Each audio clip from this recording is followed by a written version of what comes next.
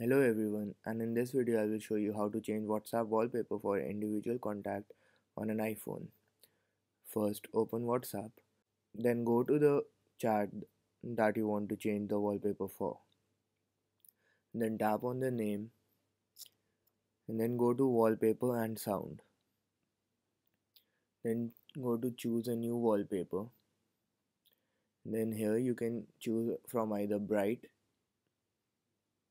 or dark or solid colors or you can even go to your phone's gallery and choose any wallpaper from here.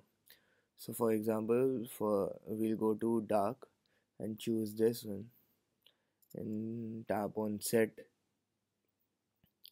And now we have changed the WhatsApp wallpaper for this particular contact. So that is how you change WhatsApp wallpaper for individual contact on an iPhone. Thank you.